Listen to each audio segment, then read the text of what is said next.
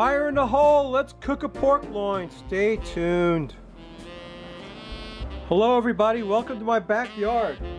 Happy New Year. What I got here today is a 20 pound pork loin.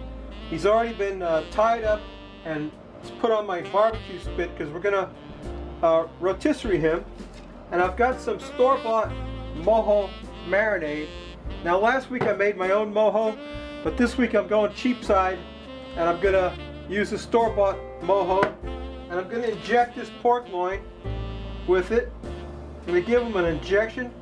He's gonna be injected, selected, and inspected. I'm gonna get that mojo all in him. That's a beautiful 20 pound pork loin that I got. Get some of that marinade in my injector. And we're just gonna give him a random injective injection of the mojo marinade. That's good stuff right there. But that's not all we're gonna do. You'll see. So let me get him injected and inspected and selected. And then we'll get him pumped up with that stuff and I'll bring you right back. We got some more stuff to do to him. So stay tuned. Alright, I got my pork loin injected with mojo marinade and I've got them on the spit, but I haven't installed the motor so I could make it easier to spin them like that. And what I'm going to do now is take some of that garlic in a tube that I like so much and I'm going to smear that all over him. I'm going to get him smeared down with that garlic in a tube. That's good stuff. You see me use that in my uh, stir fries because it's just so handy. And I've got more of that, don't worry. So I'm going to uh, get him all covered up with the garlic in the tube and I've got him loose so I can turn him to make it easier to work with. I'm going to smear that on him. I lost a piece there. I got plenty. So don't worry, that, that's some good garlic right there, some good garlicky flavor. It's going to be all infused in that pork loin. You get some on the top here. I got uh, two and a half tubes of it, so I'm not too worried about running out. Get some more of that on there. Get that all covered up with that garlic. And this is my own recipe, if you're wondering. I didn't learn this from anyone. I figured it out myself. So uh, yeah, let's just, you know, while I'm waiting for my charcoal to come up to temp, we'll spread that garlic on here. And I could have got away with one tube, I guess, or one and a half tubes because he's pretty much covered up with the garlic. So what we're going to do now is I got some rosemary that I'm going to chop up. Some rosemary. And hopefully, you know, I don't know if this is going to work or not. This is my own idea. Could work, maybe it'll work, maybe it won't. We're going to find out. We'll find out together. How about that? So anyway, I'm chopping up some rosemary leaves which I should have done ahead of time, I guess, but I didn't. Okay, that's good enough right there, I think. We'll take our chopped up rosemary and spread it on top of that garlic, like that. Hopefully some of it will stick. I'm sure some of it won't. Let me get him turned a little bit. Put some more of that. Yeah, some of it's falling off, but it's okay. It's okay. We don't really need that much. We just want to kind of crusting him with rosemary. We don't have to worry about salt and pepper because the mojo has plenty of salt and pepper in it. I'm going to turn him this way. Get some more of that on there. Probably should have got more of that. Going to have a whole spot of that where he's not covered. But it's okay. It's no big deal. I'm going to gather up some more of that. So there you go. You got the general idea. He's crusted in rosemary and garlic. Going to install the motor, get him spinning, and cook him. And I don't know how long it's to take to cook a 20 pound pork loin. What I'll do is let him go for about an hour, and then I'll check back on him after an hour. I'll check him with the instant read thermometer and see what we got. And uh, it's to take a while. My charcoal's not even hot yet. But anyway, I'm to install the motor and get that spinning and I'll show you what that looks like, so stay tuned.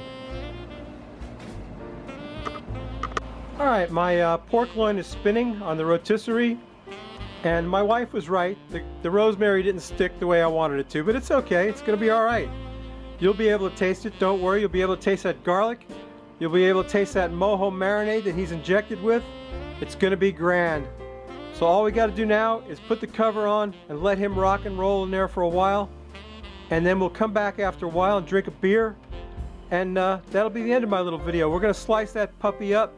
I got Dennis's slicer standing by. We're to make sliced pork, hopefully, today.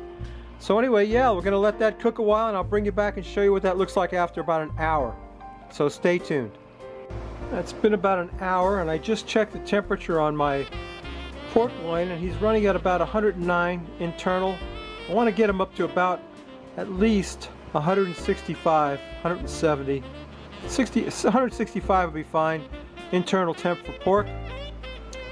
But he's looking really good. He smells excellent. That garlic is really smelling good. Let me back out of that a little bit. Oh yeah. He's basting himself with his own fat. And all that rosemary and garlic on there. Really looking good. So stay tuned. We'll drink a beer. And maybe by that time we'll be ready to slice this puppy up. So please stay tuned. Okay, my pork loin is rocking right along, but he's not quite ready to serve. So uh, I'm parched, I need a beer. Look at today's amazing beer is Dogfish Head Midas Touch Ancient Ale. I gotta tell you about this beer. This beer is somewhere between wine and mead. Our original ancient ale is made with ingredients found in 2,700 year old drinking vessels in the tomb of King Midas. Barley, honey, white muscat grapes, and saffron. Midas Touch Ancient Ale. I can't wait to try this. I read all about it. I'll put a link in the description about how Dogfish Head came to uh, make this beer.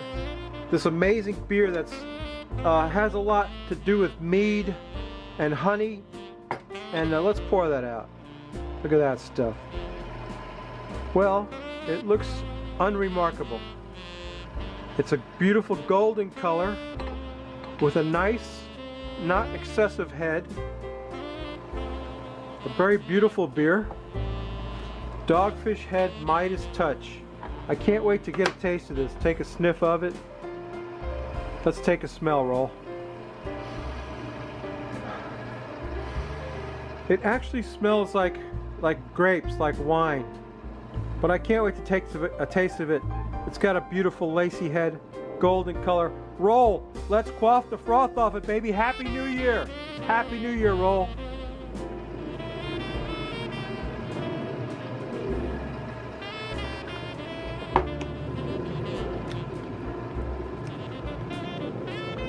That is very good, but nothing remarkable about it.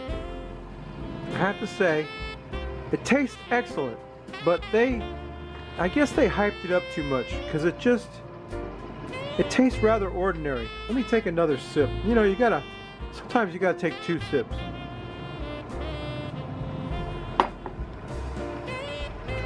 Yeah, it tastes good, but uh, ingredients from 2,700 old year old drinking vessels. I don't know. It does have white muscat grapes and saffron, barley and honey. It's not sweet at all.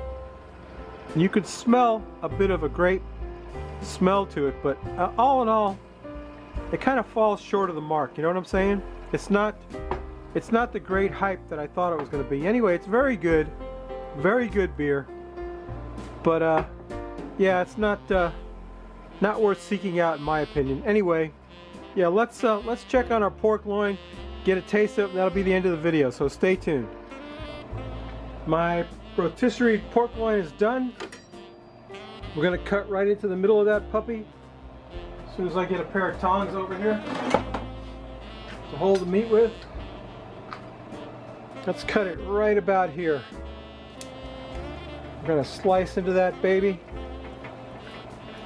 Show you what it looks like. On the inside, Beautifully cooked pork, juicy and delicious, I must say. I would like a slice of that for myself to taste. So I'm gonna slice off a bit.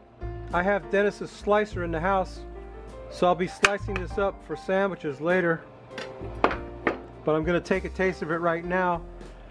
It's got all that garlic and mojo and uh, rosemary on it. Let me take a taste of that.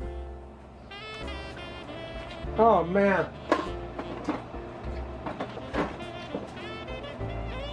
You know, I know I say this every time, but I really hooked it up this time. I gotta tell you, that is awesome. Awesome pork loin, awesome dish, my own creation with the garlic and the rosemary. Uh, Happy New Year, everyone. Let's drink a toast to the new year. Maybe better than last year, which wasn't that great. If you like this crap, please subscribe. If you don't, go over and see my boy David Hughes over at Food D. David's rocking the YouTubes with his recipes. Go check him out. Come back next week. We're gonna cook a ham, I think. It might not be a good ham, but we will drink a beer. And this Dogfish Head beer has gotten better as it has gotten warmer.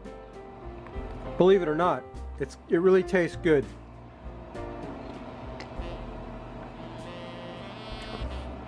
You can really taste the grapes in there and the honey, but it's not overly sweet. So it kind of surprised me. Anyway, that's my pork loin babies. We'll see y'all next week. Happy New Year. Subscribe to me. Check out David Hughes. Come back next week and we'll drink a beer. What do you think? Okay, bye.